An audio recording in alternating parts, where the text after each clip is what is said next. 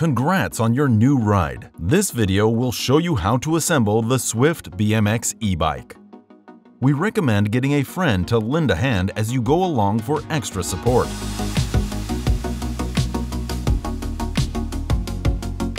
Carefully lift the bike out of the box and stand it upright in a clear working space.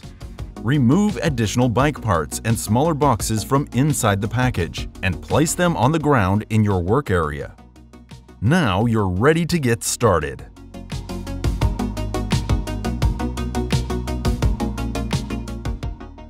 To attach and adjust your handlebars, start by removing the screws holding the handlebar bracket in place and set them aside.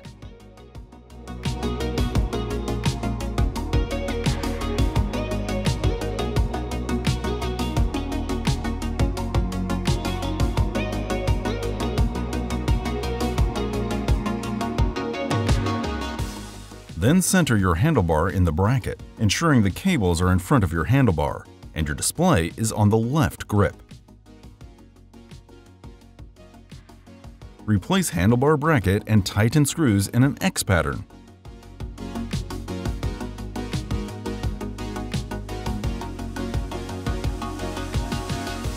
Ensure your handlebar bracket is facing forward and tighten the stem cap at the top of the handlebar stem. Then remove the rubber caps from your handlebar clamp and set them aside.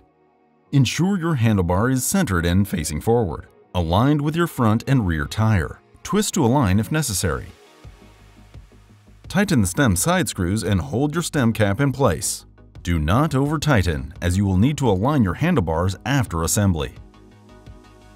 Finally, replace rubber caps on the stem side screws.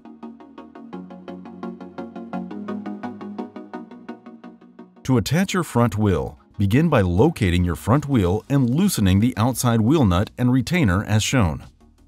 Lift your e-bike and slide your front wheel into the fork. Ensure your fork is facing forward. Turn it 180 degrees if it does not fit and try again. Your tire tread should appear as shown when you are facing your e-bike. Hook your wheel retainer into the front fork as shown. Tighten the exterior hex nut and secure your front wheel in place.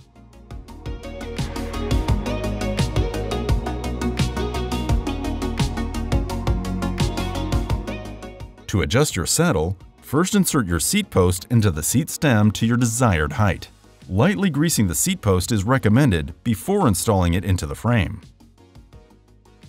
Tighten the seat clamp using the included Allen wrench.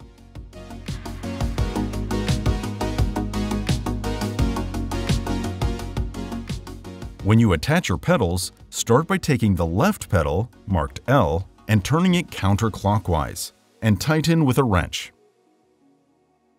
If not done correctly, you may strip and damage your pedals. Next, attach your right pedal, marked R, by turning it clockwise.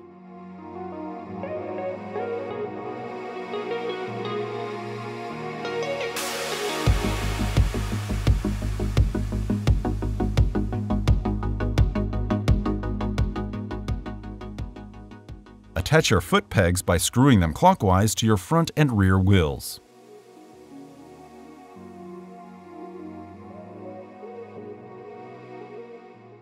Insert the Allen key into the hole on the foot pegs. This will allow you leverage to finish tightening to the proper tension.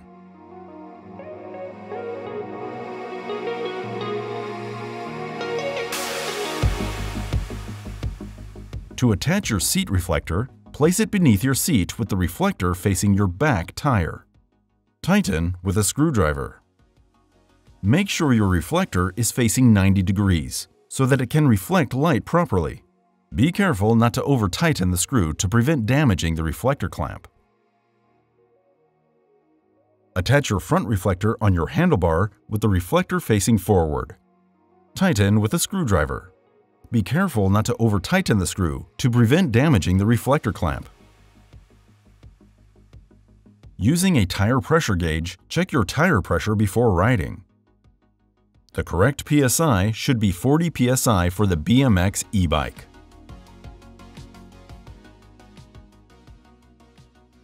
After reading through the pre-ride checklist included in your manual and ensuring that the bike parts are securely fastened and adjusted, including your handlebars, brakes, and pedals, you're almost ready to hit the road. But first, be sure to scan the QR code in your operation manual to register your e-bike and activate your warranty. If you have any questions, reach out to our support team at hello at rideswft.com. We're here to help.